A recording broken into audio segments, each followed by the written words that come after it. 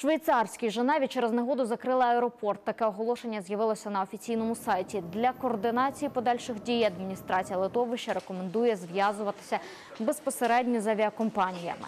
В Шотландії оголосили найвищий червоний рівень небезпеки. Сильні снігопади заблокували автошляхи і залізниці, закриті і аеропорти. Водії лишають автівки вдома.